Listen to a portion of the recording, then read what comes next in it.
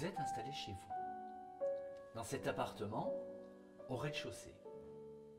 C'est samedi après-midi, Camille et Nous sont à leur activité. Tout à l'heure, pour les emmener, comme il pleuvait fort, vous avez préféré prendre votre voiture. Cinq minutes de trajet. En rentrant, vous avez franchi le pont qui enjambe la rivière et vous avez été impressionné par la hauteur du cours d'eau.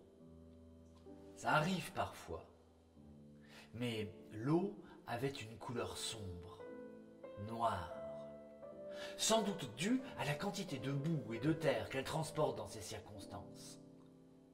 Quelques troncs d'arbres sont d'ailleurs transportés par ce courant violent. Vous êtes garé devant chez vous, et pour rejoindre votre habitation, il vous a fallu courir pour éviter d'être trempé. Pendant cette courte course, vous n'avez pas réussi à éviter de nombreuses flaques d'eau. Vos pieds sont donc mouillés et vous avez froid. D'autant que malgré cette course rapide, vos vêtements aussi ont pris l'eau. Votre pantalon mouillé colle à votre peau lorsque vous franchissez le seuil de votre porte. Et maintenant, que faites-vous? Je pense que j'en profite d'être trempé pour ressortir et, euh, et rentrer les choses dans la cour euh, qui craignent euh, justement la pluie, qui pourrait s'envoler. D'accord Voilà. Au passage, je regarde s'il y a les voitures des voisins. Ouais. Et, euh, et ensuite, après, je me change. Dans une heure maintenant, il faut aller chercher Camille et Nous. En revenant dans la pièce principale de votre appartement, vous regardez par la fenêtre, la pluie a encore augmenté de puissance. Devant chez vous, dans la rue, il y a une bouche d'égout. Et il est vrai que dans ces circonstances, elle a tendance à se boucher assez vite. Aujourd'hui, c'est le cas. Elle ne joue plus son rôle d'évacuation. Il pleut. De plus en plus fort, l'eau dans la rue a donc monté. Il pleut.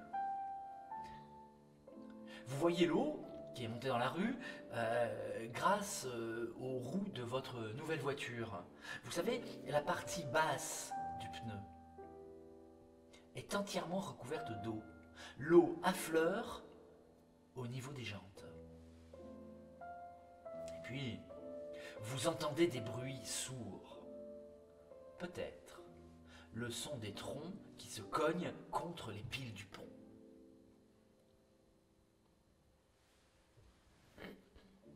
Il y a Sado dans la rue. Il faut aller chercher les enfants dans une heure. Vous êtes chez vous. Maintenant, qu'est-ce que vous faites? J'appelle la MJC Ouais, pour, euh, pour leur dire que j'irai pas chercher les enfants dans une heure. ouais. Puis pour savoir s'ils connaissent bien les consignes aussi. Ah, d'accord. Voilà. Ok. Euh, je commence peut-être à préparer un sac. Ah, ou à vérifier euh, mon sac, savoir si j'ai euh, si j'ai une radio, des piles, euh, D'accord. une bouteille d'eau, Ouais. un vêtement chaud, Oui. de la nourriture, Oui. une lampe torche. On va faire un petit rembobinage. Mhm. Vous avez appelé la MJC pour savoir s'ils connaissent bien les consignes. Et vous avez un doute quand ils vous répondent. Qu'est-ce que vous faites? Je leur dis qu'il faut garder les enfants, Ouais. qu'il faut pas prendre la voiture, Oui. c'est trop dangereux dehors. D'accord. Euh, et que si ça, si ça s'envenime, il faut monter euh, à l'étage de la MJC. Très bien. Ensuite, vous préparez votre sac avec tout ce que vous m'avez dit euh, à l'instant. Euh, on imagine maintenant que vous avez décidé de vous informer. D'accord? Ouais. Et comment? Ma radio locale, Ouais, ouais, France Bleu, ok. Vous avez la fréquence? Euh, 98.2. Ouais. Ouais. Voilà. Et en écoutant la radio, vous apprenez alors que euh, toute la région est placée en risque inondation, vigilance rouge. Vous regardez à nouveau par la fenêtre. L'eau est encore montée. Elle est maintenant au niveau de la moitié de la jante Mhm. de la voiture neuve. D'ailleurs, vous voyez très bien l'eau couler sur la chaussée, ça forme un, un ruisseau. Pour vous, depuis euh, la fenêtre de votre appartement, au rez-de-chaussée, euh, quand vous regardez, l'eau elle coule de quel côté? Sur la droite, sur la gauche, vers l'avant, vers l'arrière? Comment elle coule? De droite à gauche, De droite à gauche très rapidement. Très Ouais. rapidement. Donc on est là. Il y a cette eau qui coule, Mhm. la moitié de la roue de la voiture qui est prise dans, dans l'eau. Euh, Qu'est-ce que vous faites? Je commence à colmater euh, les dessous de porte. Ouais. Euh, j'ouvre le portail, parce que j'ai un portail électrique. Ah oui. Ouais. Ouais. Donc euh, j'ouvre le portail pour pas que, justement, s'il y a un risque électrique, qui reste ouvert et si, comme ça on peut évacuer en fait si jamais les pompiers nous l'indiquent. Je ferme par contre mes volets. C'est pas des volets électriques, mais je ferme les volets. Et euh, je pense que j'éteindrai euh, l'électricité, le gaz. D'accord. Ouais. Ok. Très bien. Alors, on rembobine un tout petit peu en arrière. Mhm. Pour le moment, vous avez fait tout ça. Juste, bah, justement, vous n'avez pas pensé à éteindre euh, l'électricité Ouais. et tout ça. D'accord? Ok. Vous regardez par la fenêtre et vous voyez que l'eau a encore monté. Hmm. La pluie s'est intensifiée. Même la lumière du jour s'est atténuée. Le bruit des arbres qui se cognent contre les piles du pont est de plus en plus euh, fréquent. Dans la rue, devant chez vous, une poubelle s'est renversée, déverse son contenu là, dans, dans le, ruisseau. Euh, vous entendez même euh, le grondement des galets qui roulent au fond de la rivière et cela dégage dans l'odeur, dans l'air, une odeur de soufre.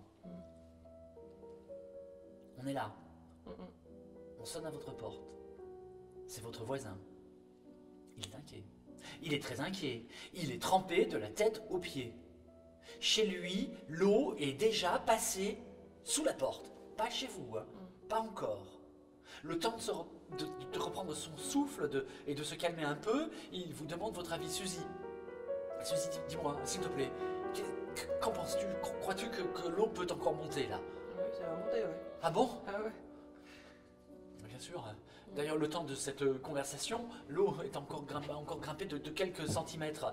Votre voisin se décompose. Il s'assoit sur une chaise, vous dit que sa voiture à lui est inondée.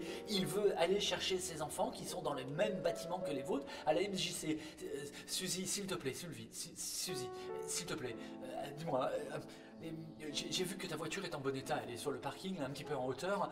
Euh, franchement, là, on, peut- on peut, prendre ta voiture, on va chercher les gamins, comme ça c'est fait, tu vois. Non mais non, on va pas chercher des gamins. C'est beaucoup trop dangereux.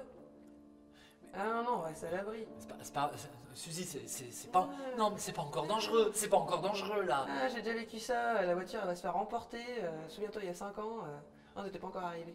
Ouais. Et ça va se passer. Et il faut pas prendre la voiture dans ces cas-là. Il faut rester à l'abri. On reste ensemble si tu veux.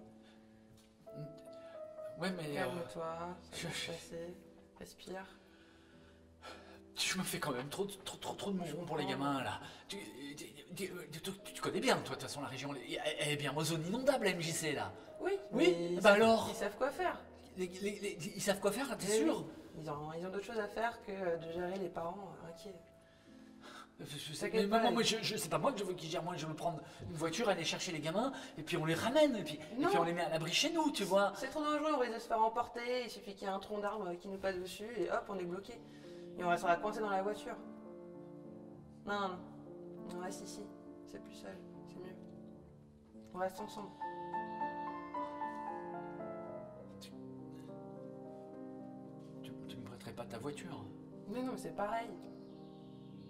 C'est la même chose. Non, non, on reste tous les deux. C'est trop dangereux, je te dis, avec la voiture. Même à pied, c'est trop dangereux. Il faut rester là.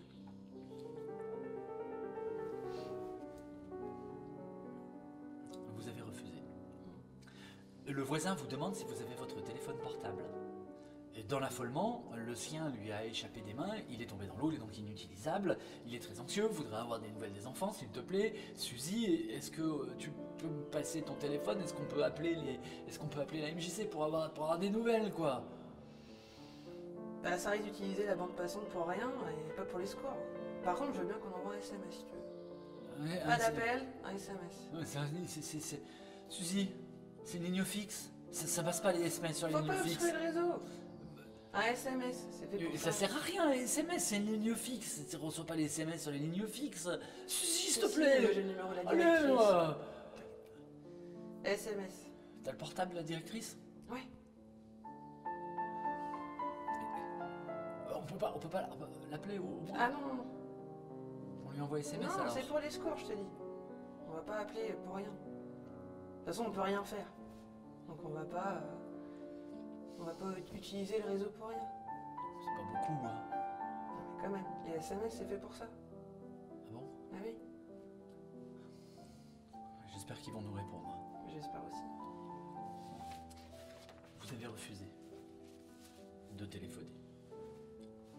Et vous avez eu raison parce que la MJC de toute façon était injoignable. Le réseau téléphonique est saturé, sans doute à cause des inondations. Il est donc impossible d'avoir des nouvelles des enfants. Sont-ils en sécurité? Dehors, la pluie tombe toujours avec la même intensité. Le ruisseau qui s'est formé devant votre porte forme désormais un torrent au courant puissant. L'eau boueuse passe désormais sous votre porte et commence à mouiller le sol de votre appartement. On, en est là. Qu'est-ce que vous faites? Bah, il est temps de monter, hein, avec le sac.